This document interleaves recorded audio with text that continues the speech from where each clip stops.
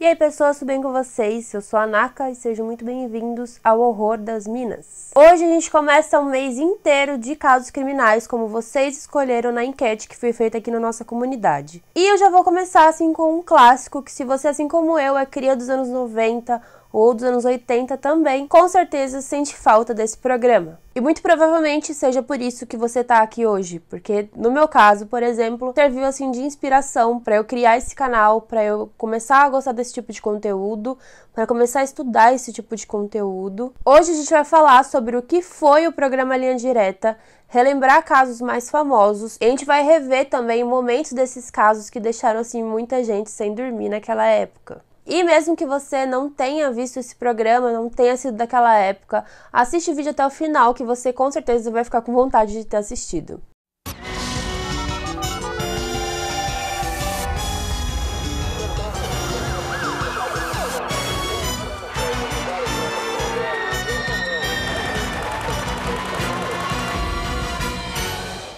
O Linha Direta foi um programa de televisão que era transmitido pela Rede Globo. Ele esteve no ar todas as noites de quintas-feiras de 99 até 2007. De início, ele era apresentado pelo jornalista Marcelo Rezende até 2001, quando ele saiu da emissora e foi para a Rede TV. E aí quem passou a tomar conta do programa foi o jornalista e apresentador Domingos Meirelles. O intuito do programa era justamente apresentar casos brasileiros, casos bem famosos, casos desconhecidos e principalmente divulgar criminosos foragidos da justiça. Então, depois de cada programa, eles abriam uma linha telefônica por pelo menos 24 horas, que servia, né, para quem tivesse alguma pista de algum foragido ou de algum caso para entrar em contato com o programa. Muita gente não sabe, mas no início dos anos 90 já tinha rolado aí uma primeira versão do programa, onde ele era feito as reconstituições de crimes mais famosos assim brasileiros, e ele era apresentado pelo jornalista Hélio Costa. Então, em todos os programas eles apresentavam uma reconstituição dos casos. Normalmente era feito de dois casos, menos quando tinha programas especiais. E essa reconstituição era feita, né, com muitos atores, normalmente atores desconhecidos. Além disso, contava também com relatos de familiares, de amigos das vítimas e pessoas envolvidas nos casos casos. Eles colaboraram com pelo menos 431 prisões de foragidos, tanto pelas ligações anônimas quanto até os próprios criminosos mesmo entravam em contato se entregando. Inclusive, em 2002, o Centro Brasileiro de Defesa dos Direitos Humanos fez um abaixo-assinado solicitando a permanência do programa. Em 2007, o programa deixou de ser exibido e aí eles deixaram uma mensagem lá no site. A respeito das manifestações de entidades ligadas aos direitos humanos pela continuidade do programa Linha Direta, informamos que a Rede Globo passou a adotar o sistema de temporadas. Mesmo com êxito e importância comprovados, os programas têm sua exibição suspensa, passando por uma reavaliação para uma nova exibição futura. Porém, infelizmente, essa exibição futura nunca mais aconteceu. O primeiro caso que vou falar hoje é o caso que para mim assim é um dos piores, eu senti muito medo quando eu assisti, que é o caso Enigma do Edifício Joelma. O sofrimento é insuportável. Desesperados, muitos se jogam do prédio.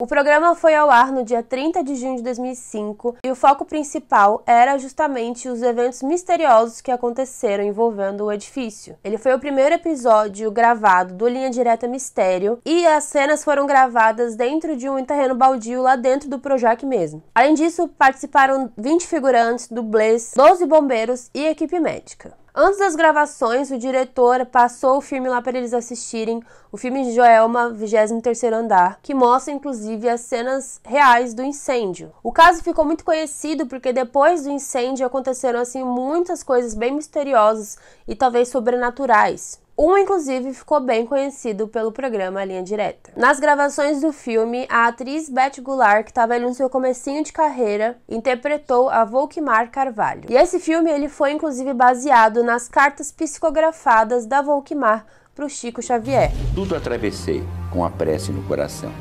E posso dizer a você, mãezinha querida, que um brado torpor me invadiu pouco a pouco.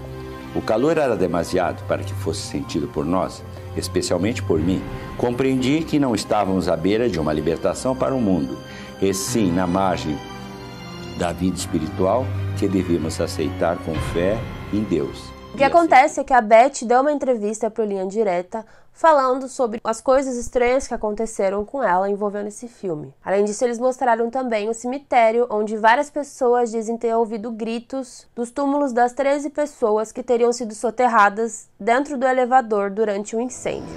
Você ouviu um grito?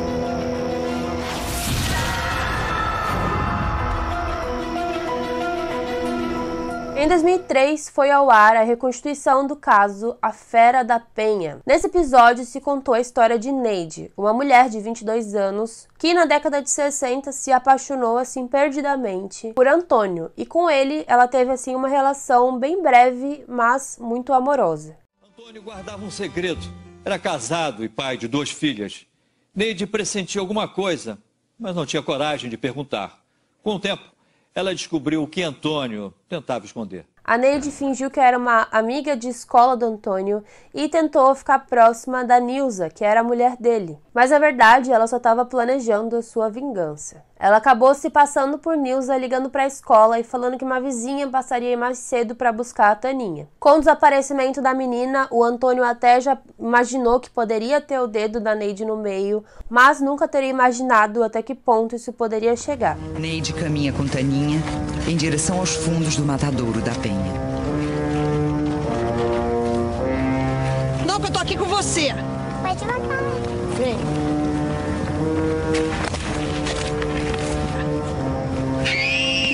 Quieta, cala essa boca! Fica quieta! Quando ela foi pega, ela permaneceu sempre negando as acusações, até que ela soltou tudo para o radialista Saulo Gomes, e aí ela passou a ser chamada de Fera da Penha. Em 25 de agosto de 2005, foi ao ar o episódio do Linha Direta Mistério Operação Prato. Nesse episódio foi contada a história da até então única investigação oficial brasileira sobre extraterrestres.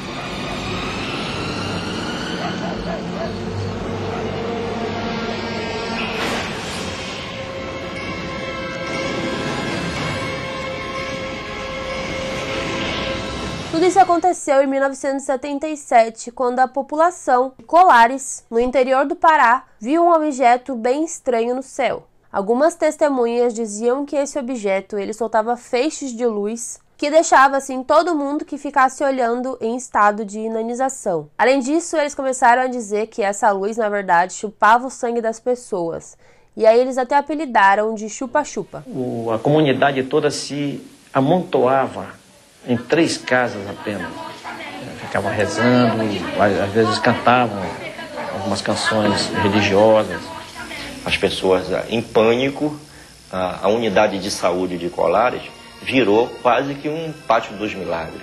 Muita gente ficou assustada e saiu correndo, fugiu, e outras, que eram mais corajosas, digamos assim, resolveram ir para cima e ver o que, que era aquilo. Então muita gente fez vigília, levava pedra, levava é, madeira, tudo que eles podiam atacar no objeto eles levaram. O programa Linha Direta reuniu vários ufólogos que falaram sobre o caso, testemunhas e jornalistas que estavam presentes né, na época. Todos eles afirmaram que realmente tudo aquilo aconteceu. Num relatório para a aeronáutica, o capitão Holanda se rende às evidências. Ele chega a desenhar as formas de vários objetos voadores não identificados e garante que eles sobrevoam os céus do norte do Brasil. E essa operação ela durou cerca de quatro meses e acabou assim sem explicação de ninguém. Na verdade, ninguém, ninguém deu uma resolução para a população, todo mundo ficou realmente sem saber o que tinha acontecido. Um dos pontos mais tensos dessa história é que um dos militares que estava lá no comando, ele junto com outros militares até chegaram a filmar as espaçonaves gigantes. Porém, em 1997, ele acabou se matando, o que ainda serviu de mais teorias assim sobre esse caso.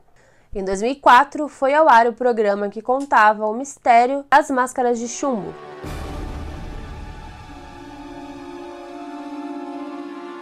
Dois técnicos de eletrônica foram encontrados mortos. Esses homens moravam em Campos Goitacazes, no Rio de Janeiro, e partiram para São Paulo, dizendo para suas esposas que comprariam carro e materiais de trabalho. Mas na verdade, eles foram para Niterói, lá no Rio de Janeiro mesmo, onde compraram capas impermeáveis, uma garrafa de água num bar e saíram dali. Os dois foram encontrados usando ternos, essas capas impermeáveis E o que era mais estranho, os dois tinham nas mãos máscaras de chumbo, que são usadas principalmente para trabalhos com radiação. Nenhum tipo de ferimento, de arma de fogo ou de arma branca. Não havia ferimento.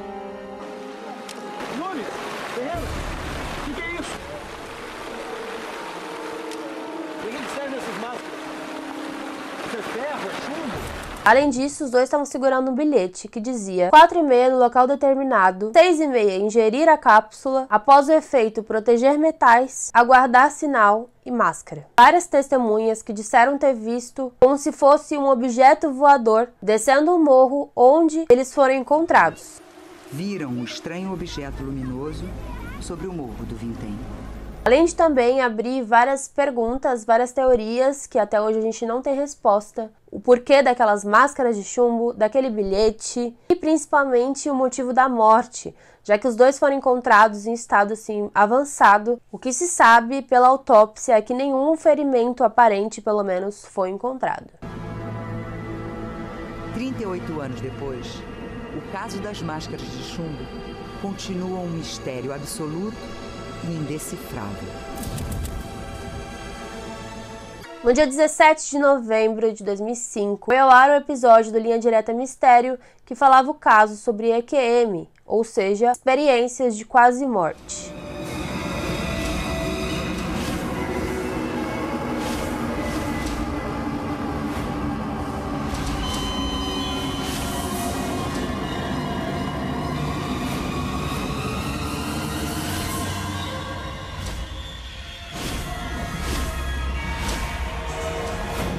Nesse programa, várias vítimas contaram suas histórias, suas experiências, de como eles se sentiram libertados do seu corpo.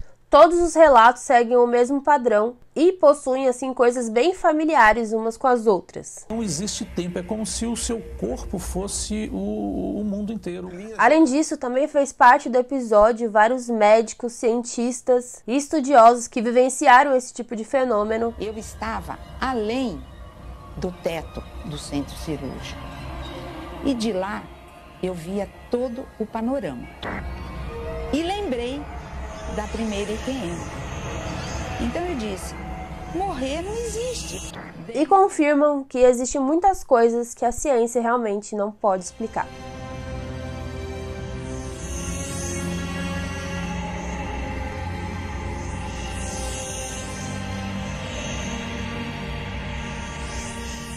Foi isso, gente. Espero que vocês tenham gostado desse vídeo. Se vocês gostaram, deixa aqui nos comentários que eu trago a segunda parte. E pode deixar aqui nos comentários também se tem algum caso que você queria ver aqui de novo no Linha Direta. E aproveita, se inscreve aqui no canal, curte esse vídeo, curte os outros vídeos e acompanha a gente, que esse mês assim tá, a gente vai trazer vários casos brasileiros bem importantes. E é isso. Muito obrigada, valeu e tchau, tchau.